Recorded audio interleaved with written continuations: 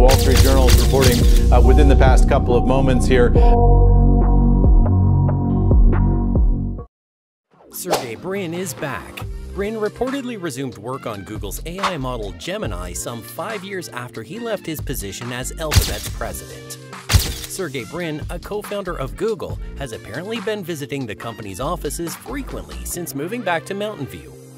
Sergey Brin, a co-founder of Google, has apparently been visiting the company's offices frequently since moving back to Mountain View. The Wall Street Journal reports that Brin, who retired from his senior position at the business in 2019, has been attending work three to four days a week for several months to collaborate with academics who are creating Google's AI model Gemini. In December 2019, Brin and co-founder Larry Page both resigned from their leadership positions at Alphabet and handed management of the business to Sundar Pichai, who is now the CEO. Both Page and Brin continue to hold board positions for the business. The journal claims that Brin has been heavily active in Gemini and has organized weekly meetings with staff members to discuss fresh AI research. According to reports, Brin has also participated in personnel choices, such as the recruitment of coveted researchers. The Charleston East building on the Alphabet property, where Pichai also has an office, has seen the most renovation. Brin's efforts have apparently been encouraged by Pichai because of the rapidly changing AI landscape and Brin's well-known love for it. Google is also in danger of losing ground to its rivals, the New York Times claimed in December that Pichai had issued a code red in response to the debut of ChatGPT, prompting Brin and Page to be asked for assistance with the AI program. In order to compete with the OpenAI offering, the journal at the time said that Google planned to introduce more than 20 new products in 2023 that would showcase the chatbot features of its search engine. Now, in addition to ChatGPT, Google must also worry about a number of other recently launched AI technologies, like Meta's Llama 2, created in collaboration with Microsoft. Google's co-founder Sergey Brin was absent from the company's Mountain View, California offices for a considerable period of time. In recent years, he has lost ground to senior Google executives, notably CEO Sundar Pichai, but now that circumstances have changed, Brin is back and supporting Google's AI initiatives. What has Sergey Brin's position been at Google during the past few years since he has stepped aside from daily work? As a board member, he shared a seat with Larry Page, the other Google co-founder, and together they continue to hold the majority of the company's voting rights. However, after leaving their senior positions in 2019, they had little to no day-to-day -day involvement with the business.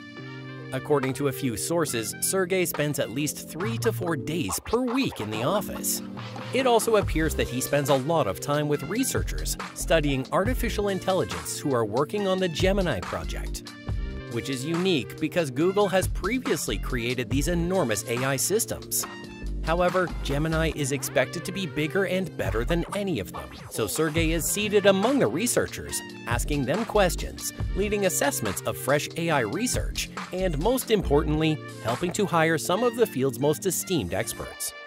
The idea is to basically develop this really general purpose AI model that is quite powerful and can be used for all kinds of activities, and Google is certainly framing it as critically important. Our understanding is that Google intends to release this by the end of the year. Creating text in the manner of GPT or Google's Bard, or even creating graphics and maybe video.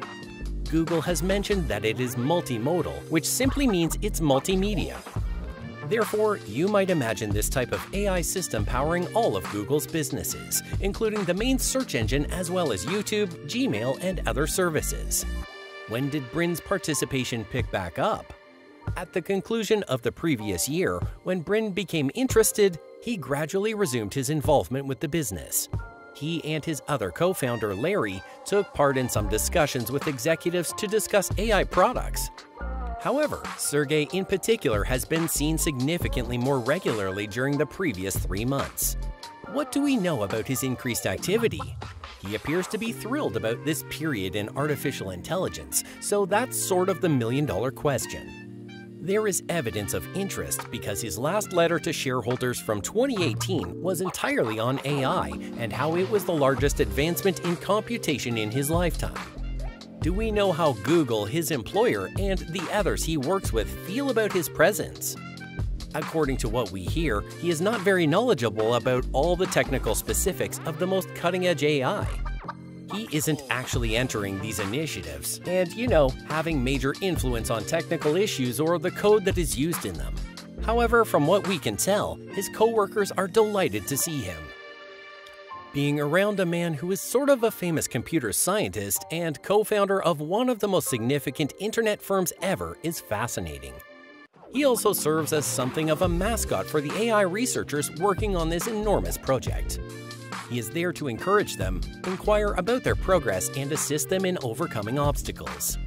According to what we understand, Sundar Pichai, the CEO, also warmly welcomes him. When someone like Sergey returns and doesn't really have an official function, but is still around, owns all these shares in the company, and exudes this ominous presence, there will inevitably be doubts. Therefore, it will be intriguing to see how that develops over time. Did Brandon tell us everything about his return? No, we didn't. Brin's spokesperson did not reply to our request for comment, but Google did. He does not have a new formal title according to the company. His only current roles are co-founder and board member. Does Larry Page play a part? What are the rumors about Larry Page, the other co-founder, that are circulating around the AI office? Has he recently assumed a more active role? Late last year, Larry attended some of the same AI sessions, but other than that, no one has really seen Larry around the offices the way Sergey has. Larry has generally been a bit more reclusive than Sergey, even in this sort of tech social scene, because of a rare voice cord paralysis that has somewhat impacted his public profile throughout the years. Although ChatGPT has surely caught everyone's attention, Google's most recent announcements at the Google I.O. event were genuinely amazing the tech giant stunned guests with its most recent strides in AI with the eagerly anticipated introduction of Google Pixel products.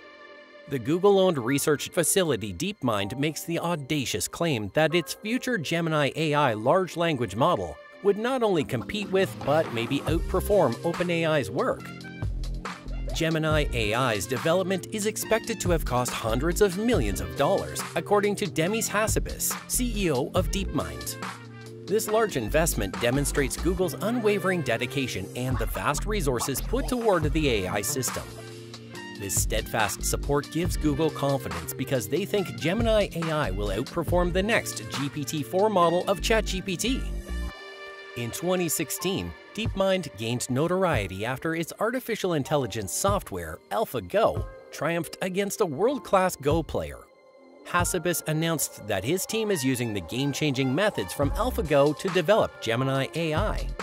The large-scale language model Gemini AI, which is now under development, is comparable to ChatGPT's GPT-4.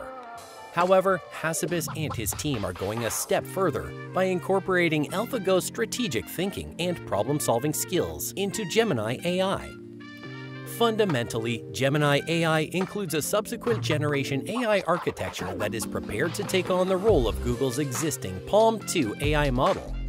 A number of Google's AI services, including the well-liked Bard chatbot and the commonly used Duet AI in workspace apps, are presently supported by this paradigm. Google is spending a lot of money creating Gemini AI as a superior replacement in an effort to outperform ChatGPT 4. Gemini AI's goal is not just to duplicate GPT-4 and other existing models. The goal is to give higher capabilities rather than identical performance. Gemini AI will presumably take advantage of developments in reinforcement learning to overcome problems with existing language models. With the introduction of Gemini AI, Google is prepared to demonstrate its actual powers as the generative AI market becomes more competitive. Google is aiming to achieve a secure market entry after learning important lessons from the hasty debut of Bard. The market for generative AI is expected to grow to $109.37 billion by 2030, fueling fierce competition for market supremacy. That's all for today. If you liked this video, please give us a thumbs up. Make sure to subscribe to our channel and hit the bell icon to receive notifications. Also, express your valuable thoughts in the comments section below. Until then, bye! Also, spend some time watching other videos on the channel.